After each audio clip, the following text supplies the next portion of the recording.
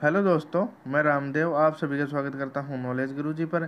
जैसा कि आप सभी थंबनेल देख रहे हो S S C art and craft teacher भर्ती से रिलेटेड वीडियो भाई जो के यू के के कैंडिडेट हैं, उनको भाई मिली राहत। हरियाणा सरकार को भेजा नोटिस कंडीशनल ज्वाइनिंग की मांग। ठीक है तो भाई जो के यू वाले कैंडिडेट है, वो भी कंडीशनल ज्वाइनिंग की मांग कर रहे हैं। तो पूरी जानकारी आपको इस वीडियो में मिलने वाली है, क्योंकि एक न्यूज़पेपर में न्यूज़ आई हुई है। तो आप इस वीडियो को लास्ट तक ज़रूर देखें। और चैनल पर अगर आप पहली बार आएँ तो चैनल को ज़रूर सब्सक्राइब करें और साथ ही का बेल के आइकन को प्रेस करें ताकि इस चैनल से कोई भी वीडियो अपलोड हो तो नोटिफिकेशन आपके पास सबसे पहले आ जाए। कुवी से निकले चयनित आर्ट एंड क्राफ्ट डिप्लोमा धारकों को मिली राहत। सुप्रीम कोर्ट में रिव्यू याचिका मंजूर, हरियाणा सरकार को भेजा नोटिस। पूरी खबर मैं आपको बता देता हूँ भाई। पिछले काफ़ी दिनों से अपने भविष्य के लिए संघर्ष कर रहे कुरुक्षेत्र विश्वविद्यालय से दूरवर्ती शिक्षा निर्देशालय से पास और एच एस एस द्वारा चयनित आपके आठ सौ अड़सठ आर्ट एंड क्राफ्ट डिप्लोमा धारकों के लिए राहत की खबर है। सर्वोच्च न्यायालय ने उनकी रिव्यू याचिका मंजूर करते हुए हरियाणा सरकार को नोटिस जारी किया है और 30 मार्च 2022 को सुनवाई हुई थी। अगली तिथि है वो आपकी 20 मई 2022 दे दी गई है और ओपन कोर्ट के अंदर भी आपकी जो सुनवाई है वो होगी, मई की डेट मिली है। और डिप्लोमा धारकों द्वारा अलग अलग पाँच याचिका दायर की गई थी, ये आप सभी को बता भी।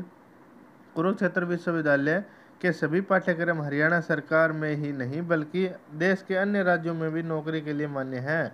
और कुरुक्षेत्र विश्वविद्यालय से पास लगभग पंद्रह हज़ार डिप्लोमा धारकों पहले से ही देश के अन्य शिक्षण स्थानों में सेवाएँ दे रहे हैं और डिप्लोमा धारकों ने बाकायदा कुरुक्षेत्र विश्वविद्यालय द्वारा निर्धारित निर्धारित प्रोवाइडर जो है सर्विस सेंटर उन पर जाकर रेगुलर क्लास लगाई है।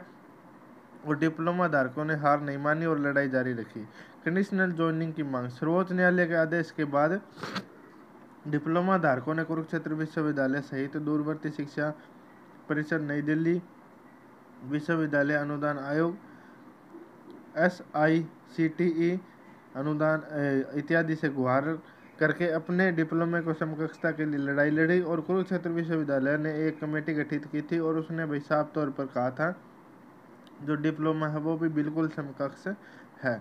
बीस हज़ार बच्चों ने किया था डिप्लोमा। उल्लेखनीय है, कुरुक्षेत्र विश्वविद्यालय से दूरवर्ती निर्देशालय द्वारा 2003 से लेकर 2006 तक आर्ट एंड क्राफ्ट डिप्लोमा जो है करवाया गया था और इस दौरान लगभग बीस हज़ार बच्चों ने डिप्लोमा किया था और डिप्लोमा के आधार पर हरियाणा में शिक्षा विभाग में कार्यरत अध्यापकों की नियुक्ति के साथ साथ पंजाब, दिल्ली में केंद्रीय विद्यालयों में भी कई अपनी सेवाएँ दे रहे हैं।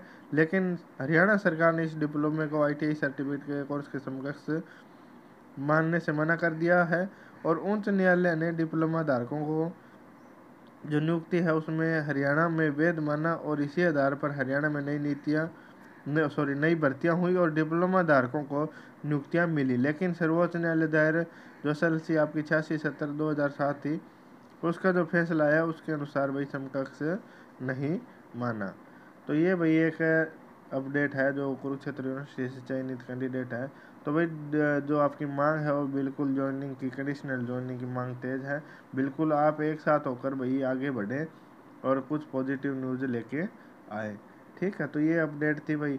रिव्यू पिटिशन आप सभी को पता है मंजूर हो गई है और तीस सॉरी बीस मई आपकी डेट दी गई है और ओपन कोर्ट के अंदर हायरिंग आपके जो केस है उसकी सुनवाई होगी। और भाई, बिल्कुल एक पॉजिटिव न्यूज़ है क्योंकि काफ़ी टाइम के संघर्ष के बाद आपका जो रिव्यू पिटिशन है वो भी मंजूर हुई और ओपन कोर्ट के अंदर उसकी हायरिंग की जाएगी। तो एक पॉजिटिव न्यूज़ आप सभी के लिए आएगी क्योंकि अभी हरियाणा सरकार को नोटिस भेजा है। सरकार अगर देखते हैं भी क्या जो कैंडिडेट है, उनको कंडीशनल ज्वाइनिंग देती है या नहीं देती है।